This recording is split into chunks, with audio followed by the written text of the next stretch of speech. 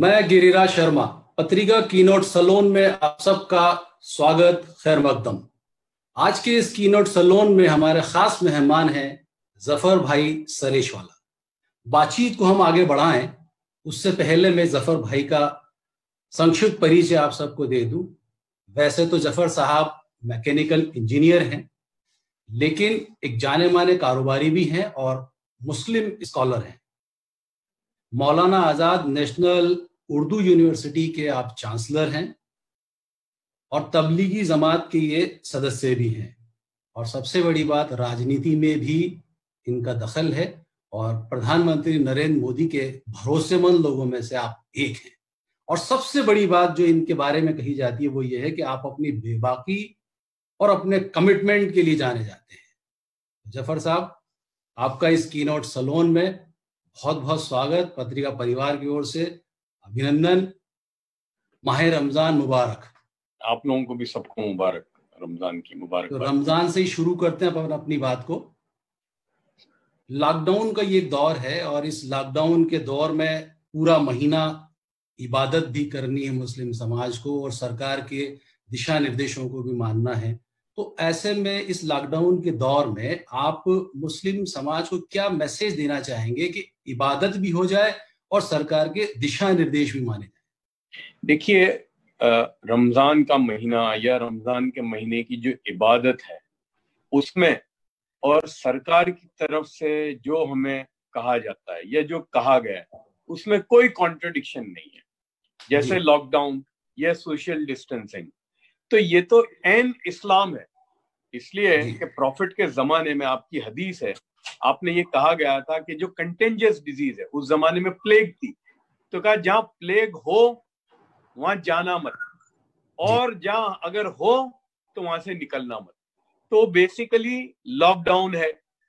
और इस्लाम में तो ये है कि ये कहा गया कि प्याज खाकर मस्जिद में भी मत आओ। यानी किसी को तकलीफ़ नहीं पहुँचे। तो मैं समझता हूँ कि ये लॉकडाउन के जमाने में जो हिदायतें सरकार की तरफ़ से हैं तो वो कोई कॉन्ट्रडिक्शन नहीं है। हम अपने घर में नमाज़ पढ़ें बिल्कुल। इफ्तारी घर में करें। और मस्जिद में इफ्तार गरीब लोग आते थे। पहले ये होता था कि भाई लोग जमा होते थे। तो अब भाई मोहल्ले में जो फ़ूड पैकेट जो तकसीम हो रहे हैं उसमें आप अपनी इफ्तारी भी तकसीम करवा दीजिए। तो मस्जिद में कोई जाने की ज़रूरत नहीं है। घर को अपनी इबादत गाह बनाओ। और सरकार की तरफ़ से जो अहकाम हैं वो हमारे फ़ायदे के लिए हैं तो हम उसको सौ फ़ीसद वर बैटिम उस पर हम चले। बहुत उसमें कोई प्लस माइनस ना हो। जी। अच्छा अभी जैसे ये कोरोना एक बहुत ही नया नाम सुनने को मिला और इस कोरोना के दौर में ही दो तीन नाम और सुनने को मिले मरकज जमात तबलीगी अगर शायद ये कोरोना नहीं आता तो हो सकता है कि लोगों को जमात तबलीगी और मरकज ये शब्द भी शायद पता नहीं चलते। चूँकि आपका ताल्लुक भी तबलीगी जमात से रहा है या कहीं ना कहीं है तो आपसे बेहतर शायद ही कोई बता पाएगा कि आखिर ये जमात क्या है कब से है और ये कैसे काम करती है। देखिए तबलीग जमात जो है मैं संक्षेप में बताऊँगा। जी तबलीग जमात 1920 में कायम हुई थी और एक बहुत बड़े स्कॉलर थे जो मौलाना साद हैं अभी। उनके ग्रेट ग्रैंडफादर थे मौलाना इलियास। उन्होंने 1920 में शुरू की थी। और एक्चुअली ये तबलीग जो है ना मिस नॉम्बर है। तबलीग का मतलब ये होता है धर्म का प्रचार करना। लेकिन तबलीग जमात का वो काम ही नहीं।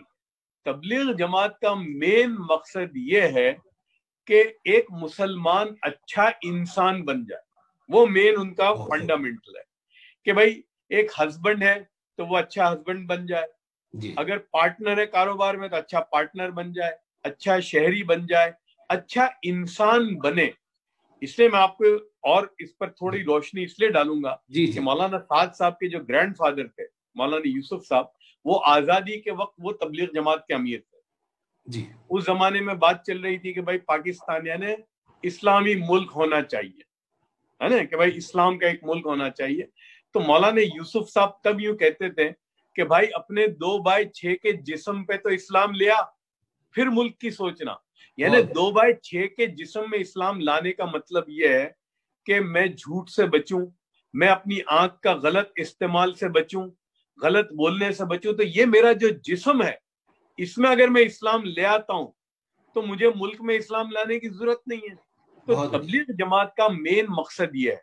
और उसका जो फाउंडेशन है कुरान की एक आयत पर है कि ये है कुरान की आयत कि तुम बेहतरीन बनाए गए हो तुम बेहतरीन हो और इसलिए हो कि तुम लोगों के नफे के लिए पैदा किए गए हो और वो इसलिए कि तुम लोगों को अच्छाई की तरफ़ बुलाते हो और बुराई से रोकते हो। ये बेसिक फंडामेंटल है तबलीग जमात का।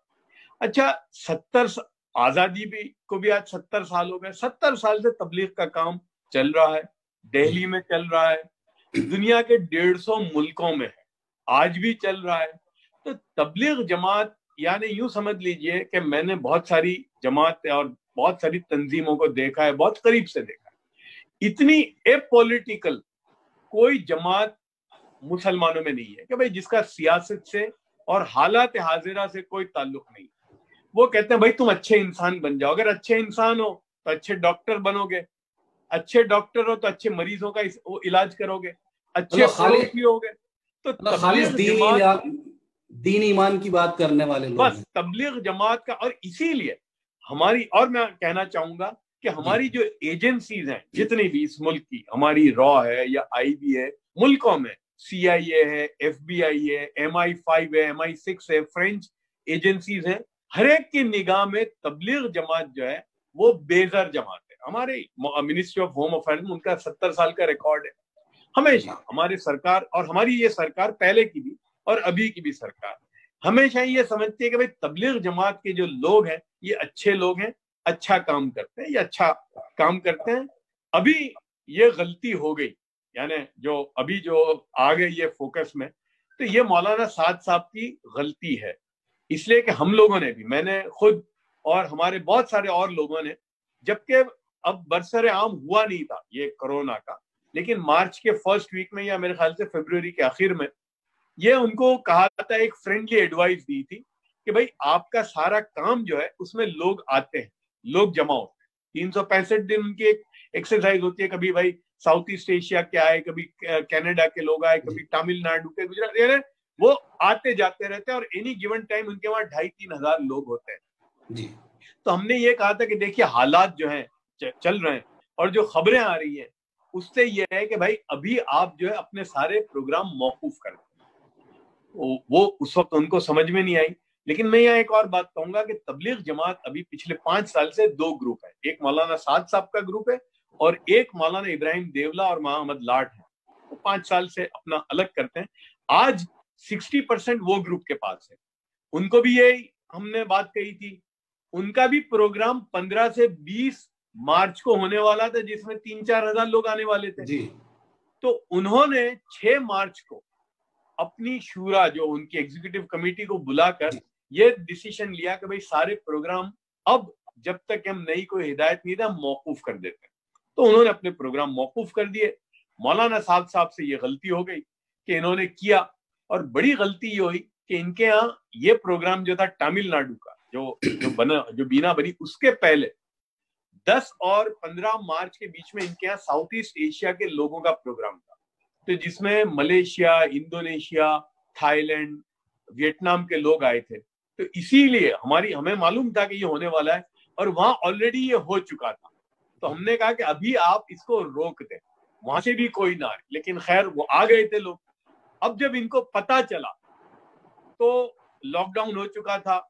इनके यहाँ साढ़े आठ सौ कम से कम बाहर के जो लोग थे तो ये एक मैं समझता हूँ कि गलती मौलाना साद साहब से हुई, लेकिन बड़ी गलती जो हुई, उसके बाद हुई कि भाई वो सामने आ जाते, अपनी गलती का को मान लेते और अपने लोगों को जो हिदायत दे देते कि भाई जो लोग यहाँ आए थे, जो जहाँ पर हैं, वो अपना इलाज कराएँ। तो ये मैं समझता हूँ कि मसला थम जाता, उनका सामने ना आना, उसने इसको और बढ़ाया। मैं देखिए, मैं अपने दर्शकों को एक ये चीज़ बता दूँ कि मैंने शुरू में एक बात कही थी कि ज़फ़र साहब अपनी बेबाकी और अपने कमिटमेंट के लिए जाने जाते हैं। और ज़फ़र साहब ने बहुत साफ़ वही के साथ ये कहा है कि मौलाना साद से गलती हुई है। तो ज़फ़र साहब, ये आपने मान माना और सब भी मान रहे हैं इस चीज़ को कि मौलाना साद ने जो किया वो गलत किया। लेकिन ये एक जो लापरवाही या गलती है, ये पूरी कौम या यूँ कहें कि पूरे देश को भारी पड़ रही है। देखिए उर्दू का एक शेर है।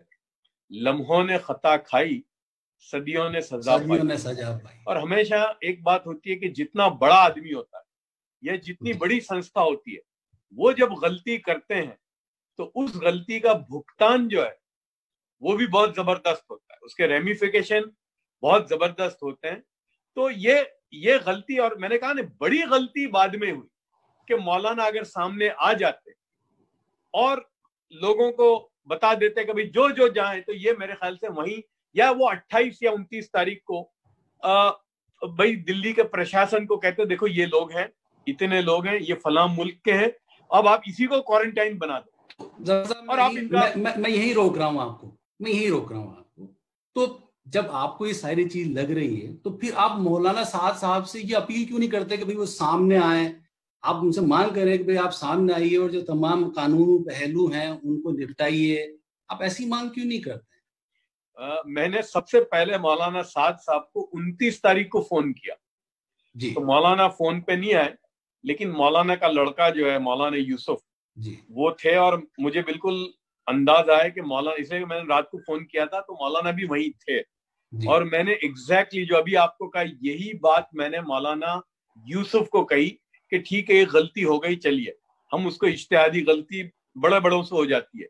लेकिन अब मौलाना का सामने ना आना यानी मौलाना को हेड ऑन आना चाहिए। भाई पुलिस क्या करती है? मैंने ये कहा देखिए पुलिस क्या करती है या क्या वो वो वो इश्यू नहीं है मेरे लिए। लीगल इलीगल की बात नहीं है। अब चूँकि आप अमीर हैं बिल्कुल। और आपके पीछे लाखों लोग चल रहे हैं exactly. तो अब मौलाना का सामने आना बेहद ज़रूरी है। और मौलाना को डायरेक्शन देने का वक्त है।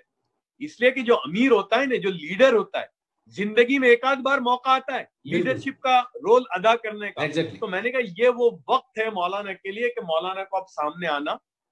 लेकिन वो उस वक्त सुनी मेरी बात लगातार मैं बात करता रहा। यानी मैंने दस दिन तक मौलाना के जो मौलाना अब्दुल अलीम जो उनके खास हैं मौलाना अब्दुल्ला झांझी हैं मैं उनको हरेक को कहता रहा लास्ट जो मेरी बात हुई जब उनके एक मौलाना ने मुझे कहा कि नहीं भाई हमें तो ये राय दी गई है कि अभी हमें तो बुला जाने की कोई ज़रूरत नहीं है। तो मैंने कहा मौलाना जो लोग आपको राय दे रहे हैं या जो मशवरा दे रहे हैं वो आपके दोस्त नहीं है आपके दुश्मन है। बहुत बढ़िया। और मैं जो आपको कह रहा हूँ मैं आपका दोस्त हूँ। इसलिए मैं ये राय दे रहा हूँ आपको। तो यानी कि दस दिन तक लगातार आप उनसे मांग करते रहे। बिल्कुल। सीधी बात आपकी हो नहीं सकी उनसे। उनके नीचे जो लोग थे वही बातचीत हाँ मौलाना के बेटे से बात हुई मतलब वो मौलाना का मेन है खास है मौली यूसुफ जो मौलाना का बड़ा साहबजादा है। अच्छा अभी सभी जानना चाहते हैं कि आखिर है कहाँ मौलाना साहब? है? आखिर है कहाँ मौलाना भाई दिल्ली में ही है और तो कहा होंगे? दिल्ली के अलावा कहीं नहीं है अभी ए, हाल के एक दो दिन में उन पे ईडी के छापे वगैरह पड़े हैं तो आप मतलब किस रूप में आप देख रहे हैं इस चीज़ को? देखिए यही यही तो है ना वो ये मैं मैं तब से कहता था कि मौलाना बोलते ना कई मरतबा you have to nip it in the butt यानी मौलाना साद अगर उनतीस तारीख को या तीस तारीख को सीधे पहुँच जाते पुलिस स्टेशन पे कि भाई ये है। वो तो ज़ाहिर है अब अब आप आ ही नहीं रहे तो वो तो फिर निकलता रहेगा चीज़ें निकलती जाएँगी। जी जी जी।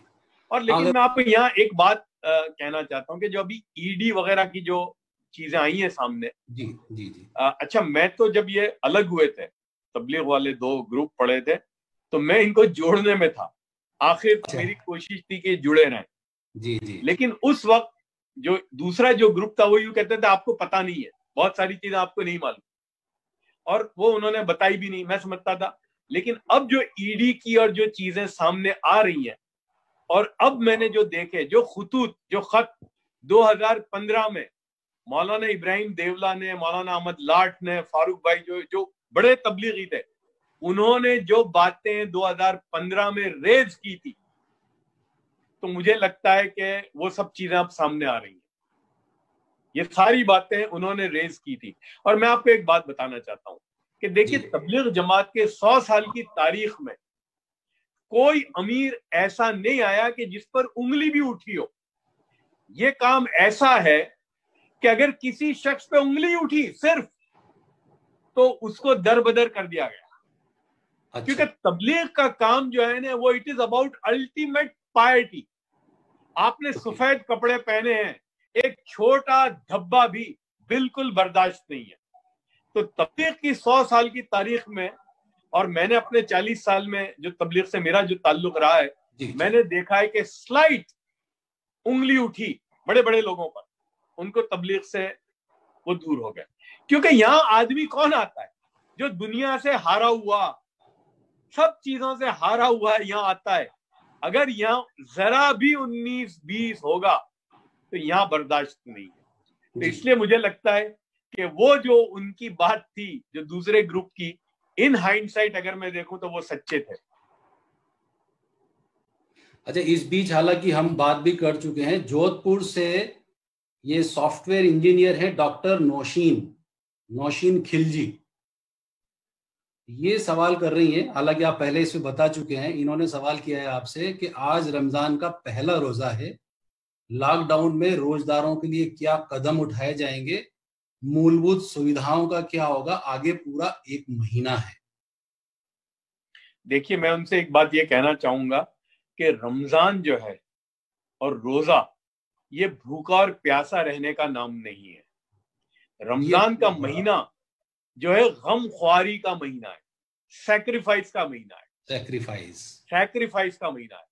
तो जो सेक्रीफाइस आए हम उसको उठाएँ वो भी आपके रोज़े में गिना जाएगा। बहुत बढ़िया। चलिए ये तो चीज़ अपनी जमात और इसके बारे में बात हुई और ये आपने माना भी कि ये गलती हुई और इस गलती का खामियाजा पूरी कौम को उठाना पड़ा। लेकिन इन सब के बीच आम जो मुसलमान है, उसमें एक ये धारणा बनती जा रही है कि सरकार हो या उससे जुड़े सियासी दल हो, उनके निशाने पर मुस्लिम समाज ही है। कितना आप इस बात से कितना इत्तेफाक रखते हैं? देखिए, ये जो तबलीग जमात का जो एपिसोड हुआ है, और आप तो आप तो मीडिया के लोग हैं। आप मुझे बताइए कि ये इश्यू जो है तबलीग जमात का, प्लेटर में दिया मुझे बताइए कि कौन सा एडिटर होगा अखबार का या न्यूज़ चैनल का कि जिसको ऐसी ज़बरदस्त गर्मा गर्म इश्यू मिले और उसको वो इस्तेमाल ना करे? तो भाई इश्यू तो आपने दिया। हाँ, बहुत बड़ी गलती जो हुई उसको खामियाजा तो भुगतना पड़े। अच्छा फिर आपको मौका था। एमेंड करने के मौके आए आप मौके थे। लेकिन आपने नहीं किए। तो मीडिया जो है भाई देखो उनकी तो टीआरपी है। वो चलाएगी। लेकिन मैं आपको एक बात बताऊँ कि हाँ इसमें बहुत सारी चीज़ें हुई। लेकिन मैं आपको सरकार का बताऊँ कि जो अब तो बरसर आम है कि भाई 28 या 29 तारीख की रात को हमारे जो नेशनल सिक्योरिटी एडवाइजर हैं वो गए थे मरकज निजामुद्दीन। आप भी शायद साथ थे। हाँ तो मैं इसको ये बात मैंने कही मौलाना साद के बेटे से कि यार आप सोचो कि नेशनल सिक्योरिटी एडवाइजर जब आपके पास आते हैं मतलब सरकार चाहती है अभी भी कि मसला डिफ्यूज हो जाए। वो सरकार वरना क्यों आते भाई? एनएसए किसके पास गए? यानी आपके मकाम को तबलीग जमात की एक जो फैलाव है को देखकर उन्होंने और चूँकि तब, तबलीग जमात के बारे में जो व्यू है सरकार का उसको देखते हुए वो आए आपके पास। तो कम से कम आप उनकी तो कदर कीजिए। जी जी जी। तो मैं समझता हूँ कि देखिए सरकार जो है वो कभी भी नहीं चाहेगी कि इस तरह का मामला तूल पकड़े।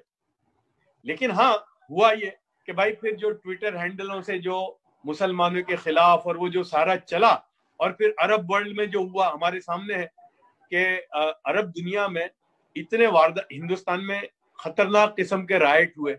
लोगों ने उसको जेनोसाइड और प्रोग्राम तक कहा। एनआरसी का किस्सा हुआ सीए का मामला हुआ, लेकिन अरब वर्ल्ड जो है वो खामोश रही। इसलिए कि इसमें मोदी साहब का भी बड़ा रोल है। उन्होंने छह साल में हिंदुस्तान की जो छवि को बनाया। लेकिन ये कुछ लोगों ने जो ट्विटर और इसके ज़रिए जो सारा, जो कम्युनल वायरस को जो फैलाया तो उसका ये हुआ कि जो अरब दुनिया खामोश थी अब तक, उन्होंने बोलना शुरू किया। तो हमारी सरकार बहुत जल्दी समझ गई और प्राइम मिनिस्टर साहब का जो ट्वीट आया कि भाई ये वायरस जो है, ये कोई देखता नहीं है और हम लोग आपस में भाई हैं, हम लोग एक हैं, एक खानदान के हैं। उसके बाद यूएई के जो एम्बेसडर हैं इंडिया में जो इंडिया के जो एम्बेसडर है यूएई में, उनको बोलना पड़ा। कतर के में हमारे जो एम्बेसडर उनको बोलना पड़ा। ओमान के, और आज अभी देखा कि हमारे जो फॉरेन मिनिस्टर हैं, जयशंकर साहब, उन्होंने सऊदी अरब के फॉरेन मिनिस्टर से बात की। मोदी साहब ने खुद नौ सरबराहों से मुल्क के बात की। तो डैमेज कंट्रोल का काम हमारी सरकार ने किया। और मैं नहीं समझता कि देखिए सरकार ये चाहेगी। इसलिए कि एक अनीज जब होता है मुल्क में तो उसका नुकसान मुल्क को होता है।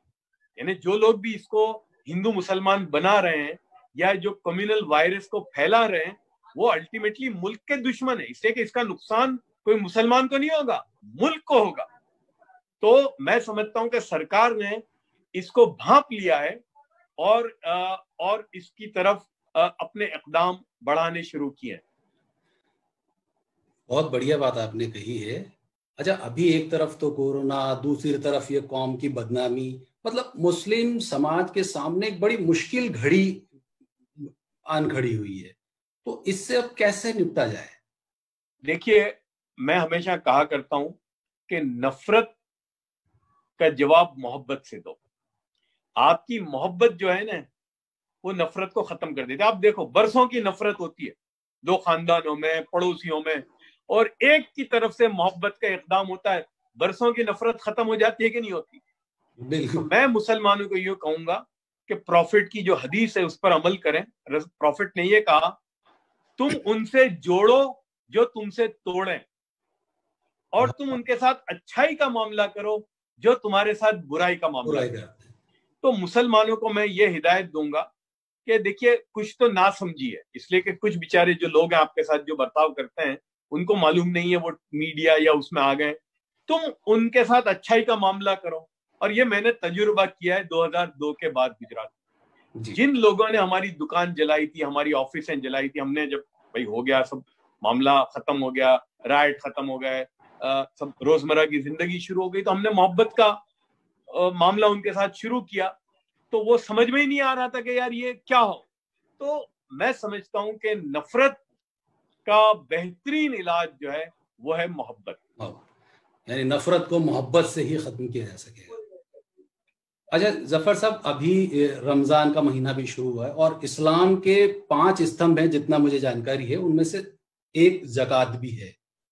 और इस महीने में जक़ात का काफ़ी महत्व है और अभी चूँकि लॉकडाउन भी है, न कोई आ सकता है, न कोई जा सकता है तो मतलब जक़ात कैसे अदा की जाएगी या कैसे ली जाएगी? क्या डिजिटल पेमेंट भी हो सकता है इसमें? डिजिटल भी जक़ात अदा की जा सकती हाँ? देखिए जक़ात जक़ात का और मैं एक बात और बताना चाहता हूँ कि इस्लाम में चैरिटी का बहुत ही महत्व है, बहुत।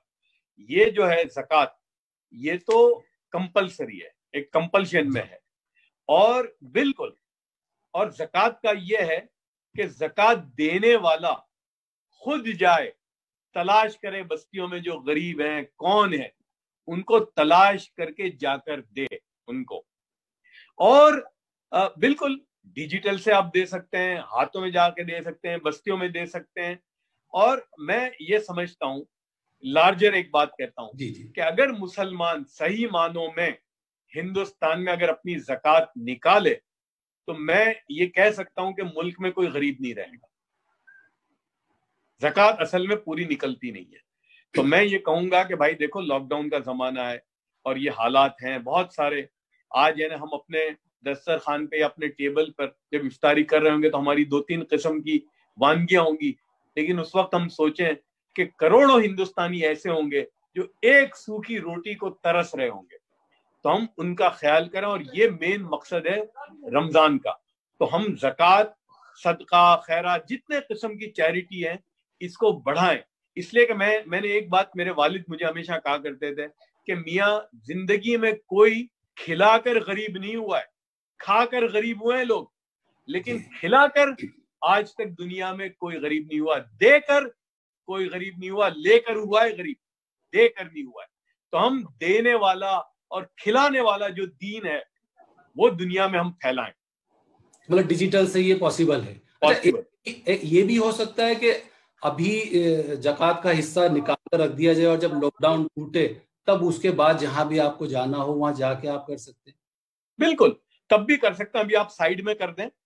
भाई, जैसा आज मुझे किसी ने पूछा, कोई जगह कोई कुछ लोग चलाते हैं, भाई फ़ूड खाने को तकसीम करते हैं तो मैंने कहा, भाई, देखो, मैं आप यहाँ तो उन्होंने कहा, आप कितने देंगे, फिर हम ले लेंगे आपसे आकर तो ये भी हम कर सकते हैं कि भाई, हम प्लेज कर दें। कि भाई इतने हम पहुंचाएँगे फला जगह पर या फला को, इतने हम पहुंचाएँगे। और जब हालात ठीक हो तो जाकर खुद पहुँचा दे या डिजिटल या जिस तरीके से। लेकिन असल है देना। देना असल है।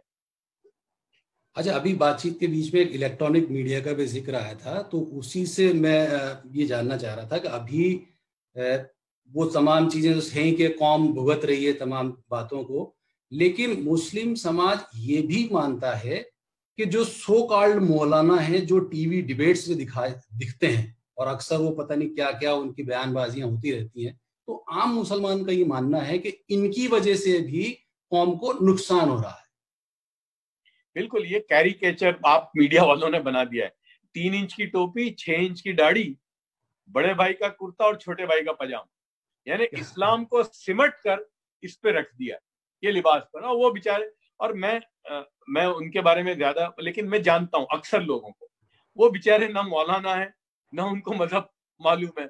वो एक अच्छा एक कैरिकेचर है मीडिया वालों को चाहिए। तो रोकेगा कौन?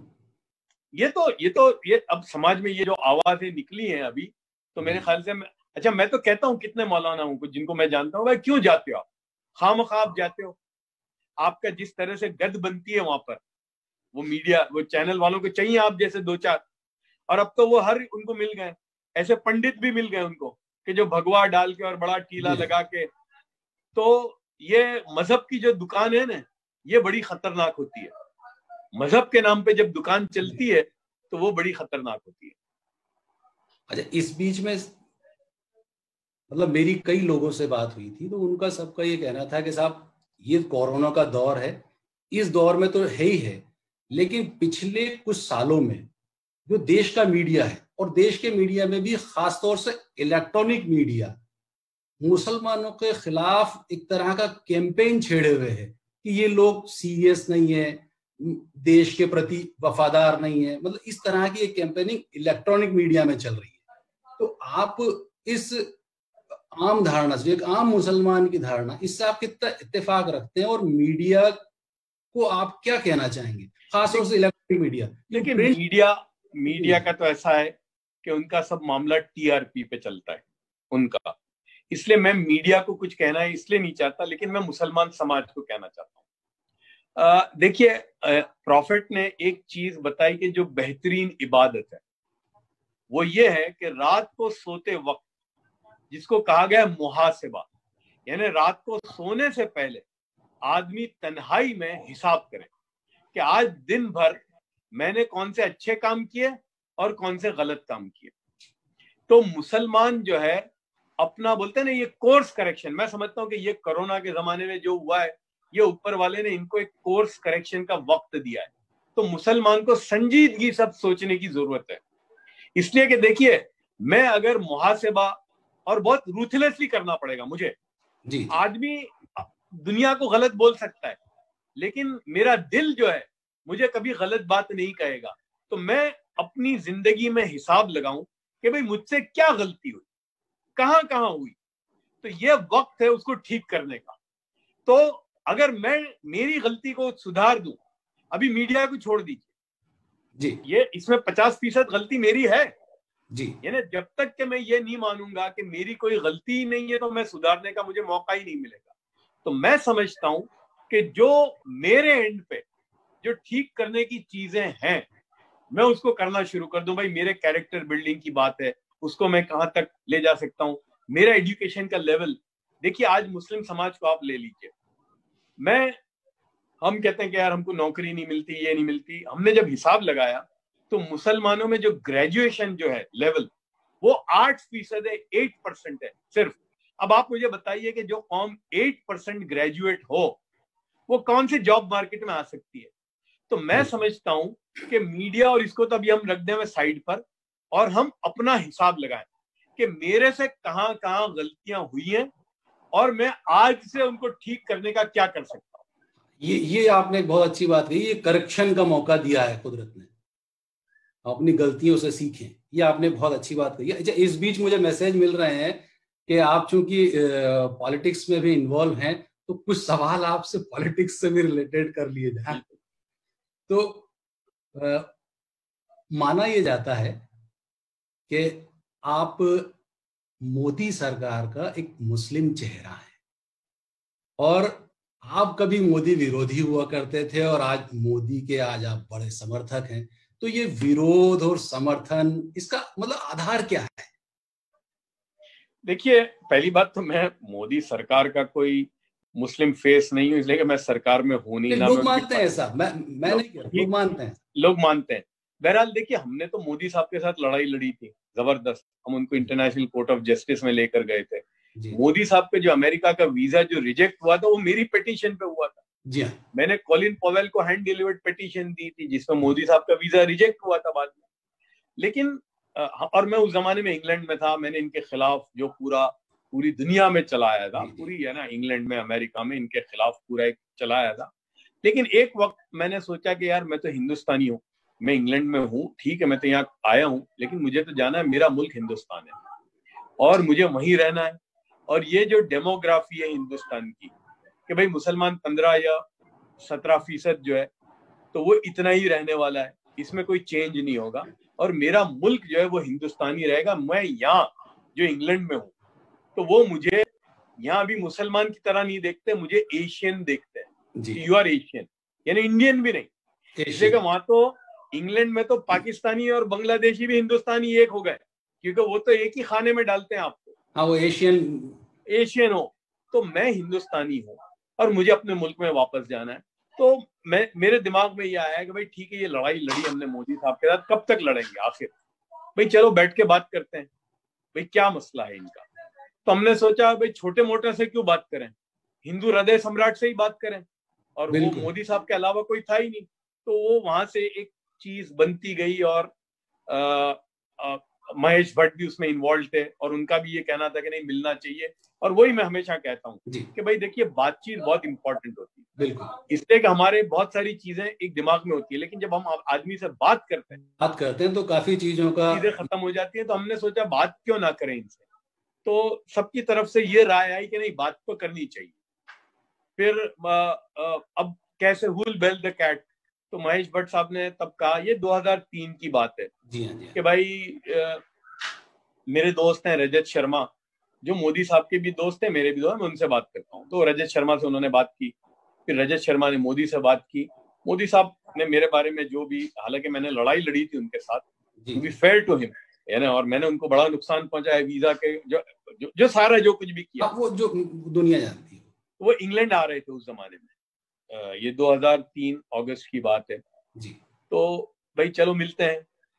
तो हमारी जो बैक एंड फोर्थ चलता रहता था ईमेल के ज़रिए फिर एक वक्त आया कि भाई ठीक है मोदी साहब भी तैयार हो गए मिलने के लिए। और हमारी शर्तें थी कि हम आपसे तन्हाई में मिलेंगे। यानी किसी प्रोग्राम में नहीं आएँगे हम तन्हाई में मिलेंगे। तो मोदी साहब हमारी सारी बातों पर तैयार हो गए। और मुझे अभी तक याद है सत्रह अगस्त 2003 सेंट जेम्स कोर्ट में पाँच बजे हमारी मोदी साहब से मुलाकात हुई हम लोग तीन लोग थे। और नो होल्ड्स बार थी यानी उसमें कोई इसलिए के बंद कमरे में बात थी। और मोदी साहब ने हमारी ढाई घंटे तक बात सुनी। क्या बात है? ढाई घंटे। और हमने हर बात उनके सामने खोल कर यानी कि भाई मुसलमानों के साथ आपने डिस्क्रिमिनेशन किया कैंपों में जो आप बोले मतलब हर बात कोई ऐसी बात नहीं थी कि जो हमने मोदी हाँ, साहब जो कुछ मन में था वो सारा आपने उनके सामने बयान सब सब चीज़ रेज की। और अच्छा मैं आपको दो बातें कहना चाहता हूँ इसलिए कि वो बहुत इंपॉर्टेंट है। मोदी साहब से जब हम मिले तो हमने कहा कि सर दो बातें आपसे पूछना चाहते हैं। अगर आप उसका जवाब दें उसके बाद हम बात आप आगे चलाएँ। तो मैंने मेरा पहला सवाल ये था कि सर आप पाँच करोड़ गुजराती की बात करते हैं। अगर आपको याद हो उस जमाने में मोदी साहब पाँच करोड़ गुजराती बाद में छह करोड़ गुजराती बोलते थे अब तो एक सौ पैंतीस करोड़ हिंदुस्तानी बोलते हैं। तो मोदी साहब तब पाँच करोड़ गुजरातियों की बात करते थे तो मेरा पहला सवाल ये था कि सर आप पाँच करोड़ गुजरातियों की जो बात करते हैं तो वो पाँच करोड़ में हम पचास लाख हैं या नहीं है मुसलमान? आप पाँच करोड़ की बात करते हैं उसमें हम है। इस पर मोदी ने कि तुम मेरे हो यानी ये पचास लाख भी मेरे हैं। उस पर मोदी ने मुझे बीस मिनट तक लेक्चर दिया पहला। जी। फिर मैंने कहा कि सर आपके पास कितना वक्त है हमारे लिए? इसलिए कि हम तो भाई कभी भी चीफ मिनिस्टरों से मिले थे तो वो एक मेमोरेंडम लेके जाओ वो ले लेते हैं रख देते हैं। दो तीन मिनट से ज़्यादा तो मिलती नहीं है। तो मोदी साहब ने कहा जब तक तुम्हारी बातें खत्म ना हो जाए तब तक।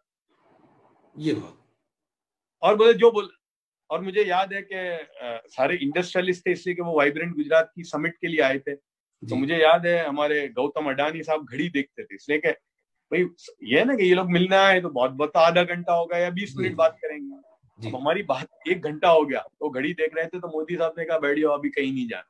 अभी इनके साथ तो हमने सारी बातें की।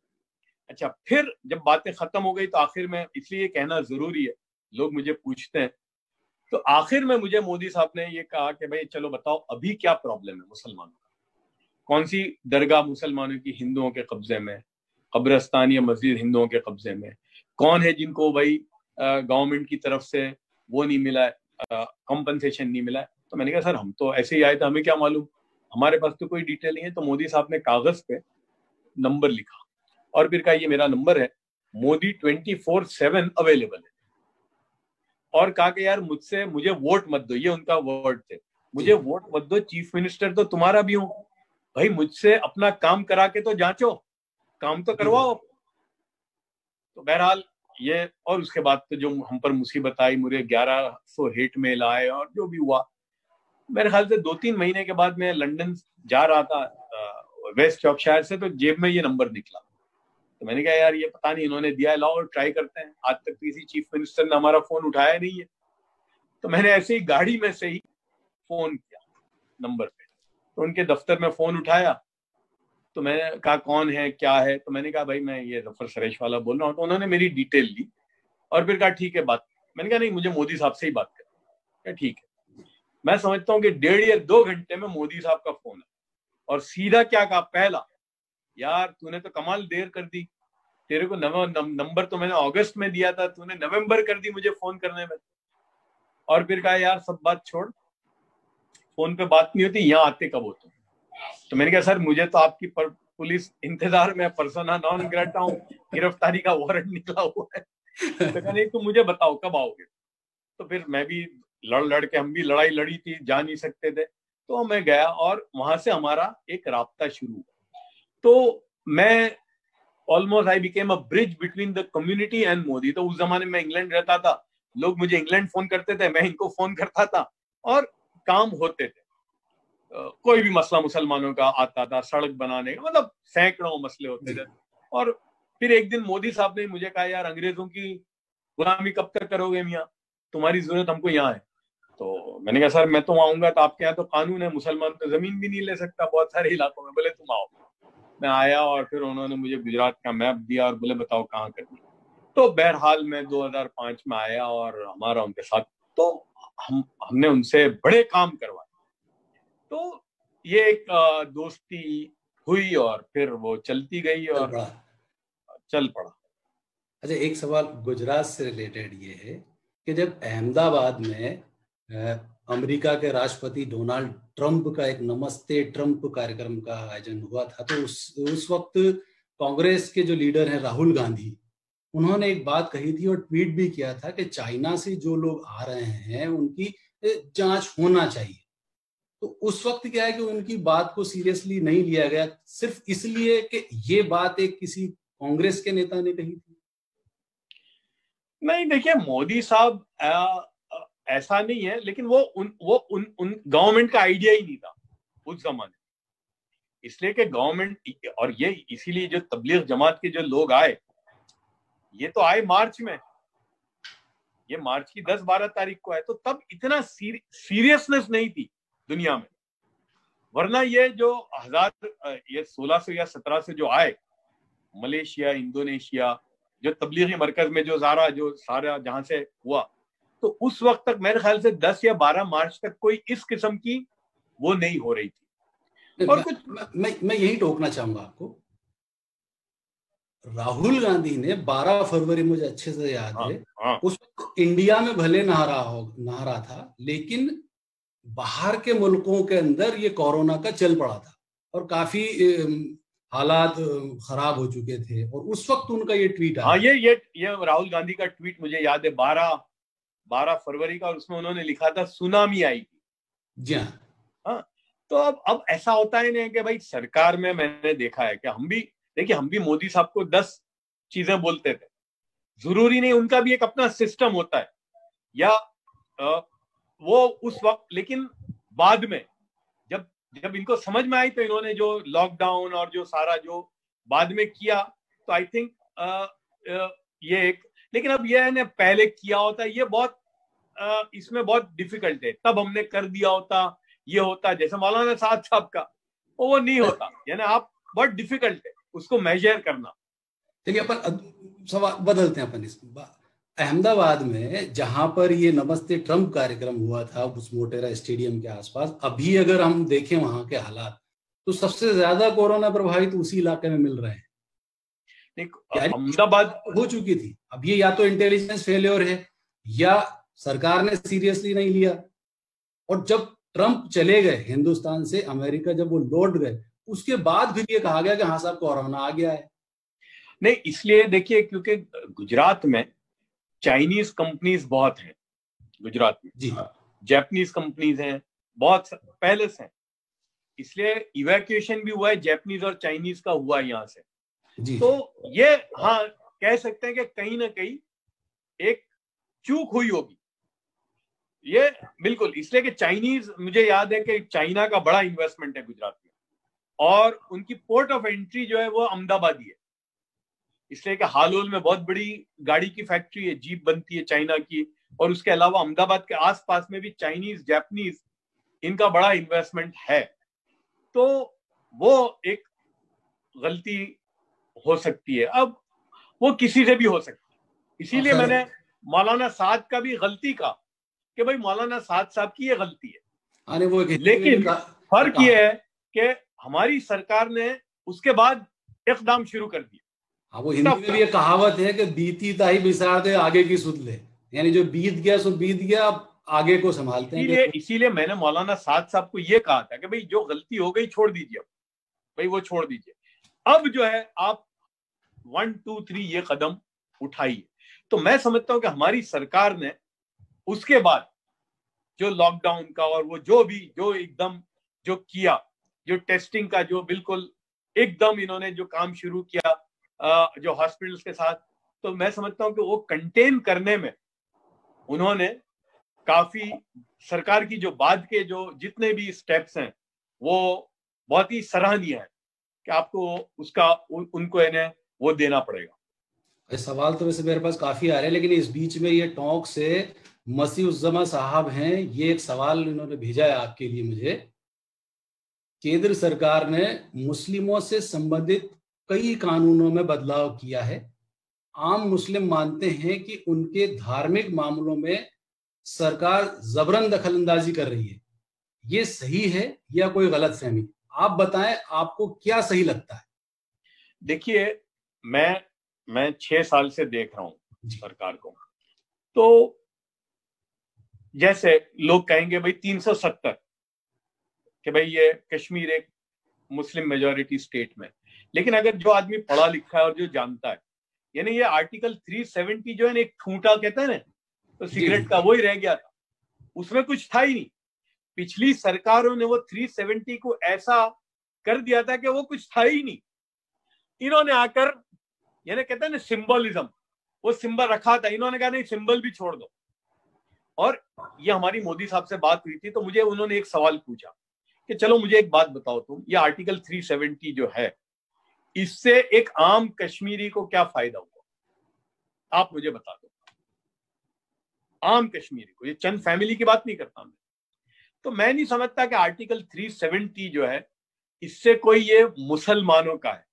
ये पॉलिटिकल उनका एक पॉलिटिकल गैम्बल है। लेकिन उससे पहले भी आर्टिकल 370 में कुछ रहा ही नहीं था। दूसरा आप सीए को लेकर कहेंगे। तो देखिए मैं अगर उस जमाने में अपने आप देखा होगा और मैंने डायरेक्ट टॉप लेवल पे भी बात की कि सर हमारे लिए सीए प्रॉब्लम नहीं है। यानी अगर आप भाई पाकिस्तान, बांग्लादेश या अफ़गानिस्तान से जो परसिक्यूटेड हिंदू जो है, अगर आप उसको यहाँ पर इज़्ज़त की ज़िंदगी दे रहे हैं तो हमें, हम मुसलमानों को उससे कोई एतराज़ नहीं। और हम भी जानते हैं कि भाई पाकिस्तान से कौन मुसलमान हिंदुस्तान आएगा? या बांग्लादेश से कौन? वो हिंदू ही आएगा। तो अगर आप तो मुझे पूछा टॉप लेवल पे तो फिर आपको प्रॉब्लम क्या है? मैंने कहा, सर प्रॉब्लम सीए से नहीं है एनआरसी से तो उनका, अभी एनआरसी तो आया नहीं है। मैंने कहा आया नहीं है लेकिन आपके लोग जो है इस तरह से बोल रहे हैं और वो एक भय का वातावरण डाल रहे हैं। और उससे ये सामने एक बात आ रही है कि भाई एनआरसी के लिए कठेरे में सिर्फ़ मुसलमान को खड़ा होना है। अब ये सही है या गलत है सर हमें नहीं मालूम। इसलिए आपकी ज़िम्मेदारी है कि इसके मामले में आपको आश्वस्त करने की ज़रूरत है। जी। ये बात हमने कही थी। रही बात अभी कोरोना जो आया है सामने, उसमें तो कहीं भी ऐसा कोई मामला सामने नहीं आया कि भाई कि कोई ऐसी चीज़ हो।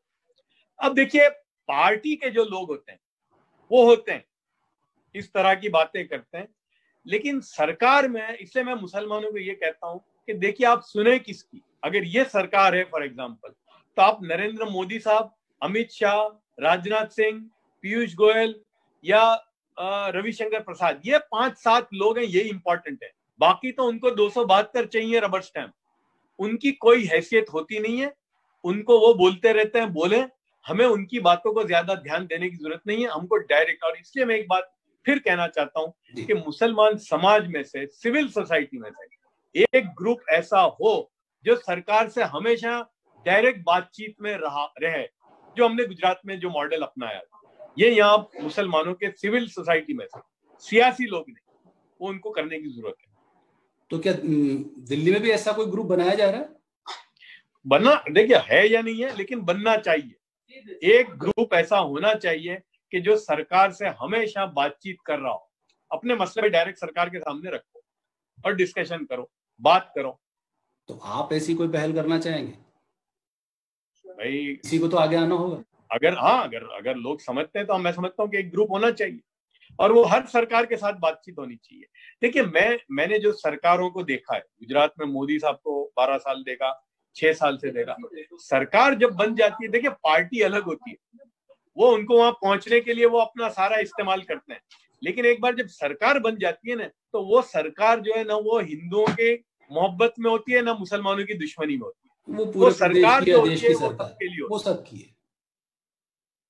यहाँ पर ये इसी से जुड़ा हुआ एक सवाल आपसे ये जानना चाहूँगा मैं कि अगर हम इंडियन पॉलिटिक्स पर अगर नज़र डालें और खासतौर से सामाजिक और आर्थिक क्षेत्र में अगर मुस्लिमों की बात करी जाए तो एक नेतृत्वहीनता कहीं ना कहीं दिखती है और उससे लगता है कि मुस्लिम कहीं ना कहीं इंडियन पॉलिटिक्स में कहीं ना कहीं हाशिए पे है।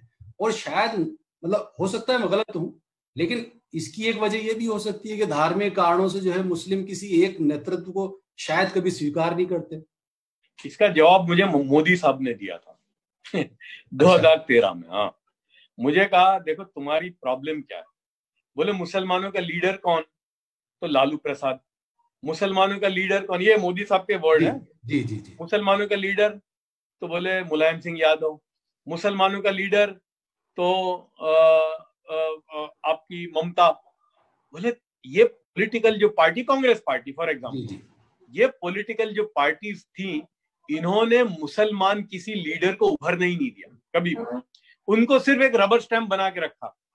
हर पार्टी का एक सलमान खुर्शीद होता है कि भाई उसका काम इतना ही है बस। तो ये तो आज़ादी के बाद से चला है कि मुस्लिम लीडरशिप को इन्होंने उभरने ही नहीं दिया। यानी मुलायम सिंह यादव तो उन्होंने एक आज़म खान बना दिया। लालू प्रसाद ने अपना एक है उनके कोई जो एक दो होते थे। कांग्रेस पार्टी कभी गुलाम नबी आज़ाद कभी ये। यानी वो सिर्फ़ उनको इन्हें एक वो बना के रखा था। मुस्लिम लीडरशिप तो इसलिए मैं चाहता मैं मेरा मानना है कि मुस्लिम लीडरशिप अगर उभरेगी तो ये मुस्लिम नाम से नहीं होगी। इसलिए कि ये मुस्लिम लीडरशिप नाम जो है ना यही गलत है। आप मुझे एक बात बताओ मौलाना आज़ाद जो थे उनको किसी ने कहा कि वो मुस्लिम लीडर हैं? वो कहीं से भी इलेक्शन खड़े हो जाते थे। रफी अहमद किदवाई। तो अब जो है ऐसा आदमी हो जो खड़ा हो हिंदुओं में भी इतना ही मकबूल हो जितना मुसलमानों में। ये मुस्लिम लीडरशिप वाला जो है ना ये नहीं चलेगा आने वाली सियासत। आपको हर एक में मकबूल होना पड़ेगा। मतलब नेतृत्वहीनता तो है ये आप है, है। बिल्कुल आपकी बात बिल्कुल सही है कि मुस्लिम तो धार्मिक वजह से है? धार्मिक वजह भी एक है? देखिए इस्लाम धर्म ने कभी नहीं रोका भाई किसी को सियासत में जाने के लिए। और ये एक एक ये चला पहले से कि भाई ये मौलानाओं को ही बुला लेते थे। हमारे सियासी लोग पचास साल से मैं तो जो मैंने तो तीस साल से मैं देख रहा हूँ कि वही एक टिपिकल वही छह इंच की दाढ़ी तीन इंच की टोपी वाला जो है भाई वही यानी मुसलमानों से लेकिन मुसलमान कौम कोई इनके साथ नहीं है? बड़ा कौम है भाई। मुसलमानों में साइंटिस्ट हैं डॉक्टर्स हैं इंजीनियर्स हैं चांसलर हैं यूनिवर्सिटी के वाइस चांसलर हैं। तो ये अनफॉर्चुनेटली ये हुआ तो मैं समझता हूँ कि अब जो मुसलमान, इसीलिए मैंने कहा नहीं कोर्स करेक्शन का वक्त है। अब मुसलमान नौजवान जो है, उनको उभर के आना पड़ेगा और उनको मकबूलियत हिंदुओं में भी और हर मज़हब के लोगों में अपनी मकबूलियत पैदा करनी पड़ेगी। अच्छा आपको क्या ऐसा लगता है कि दो पाँच ये लोग मुस्लिम कौम को नेतृत्व दे सकते हैं? ऐसे कोई नाम आप लेना चाहें? नहीं है। यानी अभी इतना लेकिन नाम वो हो सकता है नाम तो भाई यूँ लगेगा फिर किसी का नाम ले मैं, मैं, मैं, मैं दबाव भी नहीं डाल रहा मैं दबाव भी नहीं डाल रहा। नहीं लेकिन लेकिन जो मुसलमान हैं अभी जो पॉलिटिकल पार्टी में भी उनको मैं ये कहूँगा कि उनको अब आगे बढ़ना पड़ेगा। ये मुस्लिम सेंट्रिक पार्टी जो है वो नहीं चलेगी। जी। आपको ब्रॉड बेस करना पड़ेगा। और हो सकता है आपका नाम मुसलमान हो बस। मौलाना आज़ाद थे इस्लामिक स्कॉलर थे। लेकिन कभी किसी ने उनको ये नहीं कहा वो मुस्लिम लीडर आपको लीडरशिप वही होगा कि जो हर मज़हब में मकबूलियत हो। तो जो हैं भी उनको मैं चाहूँगा कि वो अपने दायरे को बढ़ाएँ। तो यही है मौजूदा लीडरशिप के लिए युवाओं को ही खासतौर से आगे आना होगा। बिल्कुल उनको ही आना पड़ेगा नई खेप दम नई खेप को आना पड़ेगा अच्छा ज़फ़र साहब आपने कुछ साल पहले शेयर बाज़ार में ऐसे शेयर लेने या उनके कारोबार में उतरने की बात कही थी जो इस्लामिक नज़रिए से सही हो। और आज के हालात में क्या है कि शेयर बाज़ार जो है बहुत निचले स्तर पर आ गया है। तो इस समय में मुस्लिम शेयर बाज़ार में हाथ आजमाए तो कैसा रहेगा? बिल्कुल, देखिए इन्वेस्टमेंट जो है, जहाँ भी, उसमें तो रहना ही पड़ेगा। और ये स्टॉक मार्केट का इन्वेस्टमेंट सबसे आसान है अब तो। अब तो मैंने जो बात की थी, उसमें तो अब तो बहुत आसान हो गया। पहले तो भाई कम से कम सौ शेयर लेने पड़ते थे। अब तो आप एक ही शेयर ले सकते हो। अब डीमैट अकाउंट आ गए, कि इलेक्ट्रॉनिकली आपका तो मुसलमानों को निवेश का जो बाज़ार है इन्वेस्टमेंट उसमें भी अब आने की ज़रूरत है। इसलिए कि अगर आप मुल्क की इकोनॉमिक ग्रोथ के हिस्सेदार नहीं बनोगे तो आप पीछे रह जाओगे। यानी मुल्क की इकोनॉमिक ग्रोथ में हिस्सेदार बनना ही होगा। बनना पड़ेगा। ये एक ज़रिया हो सकता है। बिल्कुल। अच्छा अभी चूँकि कोरोना जैसी महामारी पूरी दुनिया में है और आर्थिक विश्लेषक ये मान रहे हैं कि दुनिया में बड़ा स्लो डाउन आ सकता है। देश और दुनिया की अर्थव्यवस्था पूरी तरह से दाव पर लग चुकी है। तो ऐसे में मुस्लिम समाज के युवाओं खासतौर से लड़के लड़कियाँ उनको आप क्या संदेश देना चाहेंगे कि आज के दौर में वो अपनी सामाजिक और आर्थिक स्थिति को मज़बूत कर सके? देखिए एक तो मैं हमेशा कहूँगा कि तालीम के मैदान में बिल्कुल आपको आगे आना पड़ेगा। बिल्कुल। एजुकेशन एजुकेशन एजुकेशन क्योंकि एजुकेशन से ही फिर इकोनॉमिक रास्ते भी खुलते हैं। और सेविंग अब आपको सेविंग पे ज़्यादा जाना पड़ेगा। इसलिए कि जो हालात अभी आए हैं कि भाई दस दिन एक महीने से बंद है। तो रोज़ाना बोलते हैं ना बचा बचा कर और वो सेविंग को इन्वेस्टमेंट के रास्ते में जी। सेविंग को इन्वेस्टमेंट के रास्ते से पार्क करें। और अपॉर्चुनिटीज़ खुलेंगी। देखिए कभी दुनिया खत्म नहीं हो जाती। वर्ल्ड वॉर वन हुई वर्ल्ड वॉर टू हुई ग्रेट डिप्रेशन आया। इससे पहले 2008 में ज़बरदस्त तो कभी दुनिया रुकती नहीं है। अगर एक रास्ता बंद होता है तो दस खुलते हैं। अपॉर्चुनिटीज़ खुलेंगी। इसलिए कि ये जो कोरोना का जो मामला है मुझे लगता है कि हिंदुस्तान के लिए कई अपॉर्चुनिटीज़ खुलेंगी। इसलिए कि अब वेस्ट जो है चाइना की तरफ़ जो था अपना वो चाइना से हटकर हिंदुस्तान की तरफ़ इन्वेस्टमेंट में आएगा इसलिए कि हमारे पास एक इंफ्रास्ट्रक्चर तो आई इन्वेस्टमेंट का। तो मैं समझता हूँ कि कहाँ से अपॉर्चुनिटी खुलेंगी अंदाज़ा लगाना मुश्किल है लेकिन अपॉर्चुनिटीज़ आएँगी। लेकिन अपॉर्चुनिटी में कौन आएगा भाई? जो पढ़ा लिखा होगा। जो पढ़ा लिखा होगा जो तैयार होगा। तो इसलिए आपको पढ़ाई के अंदर और जो स्किल है एक तो स्किल जो है वो और हमारे यहाँ मुल्क में ये प्रॉब्लम ही है कि हमारे यहाँ स्किल हमारे जो लेबर जो है ना, वो भी अनस्किल्ड है। तो आपको कोई ऐसा स्किल पकड़कर उसमें उसमें नंबर वन बनना पड़ेगा। अच्छा चलते चलते चूँकि वक्त का तकाजा है दो तीन सवाल और ले लेता हूँ मैं। इस्लाम के बारे में एक तरफ़ तो ये कहा जाता है कि इस्लाम का जो मूल आधार है, वो शांति, सद्भाव भावचारा ये इस, ऐसा कहा जाता है और ऐसा हमने सुना भी है, पढ़ा भी है। लेकिन अगर हम दुनिया के जो दूसरे मुल्क हैं, उन पे अगर नज़र डालें तो वहाँ पे आज पूरी तरह से अशांति, युद्ध, आपसी संघर्ष, आतंकवाद, हिंसा मतलब मारकाट मची पड़ी है। मतलब जब इस्लाम का अगर इस तरह का कहना है मूल आधार ये है तो फिर क्यों उन इस्लामिक कंट्रीज़ में ज़िंदगी की जो राह है वो इतनी कठिन हो गई है? ऐसा क्यों?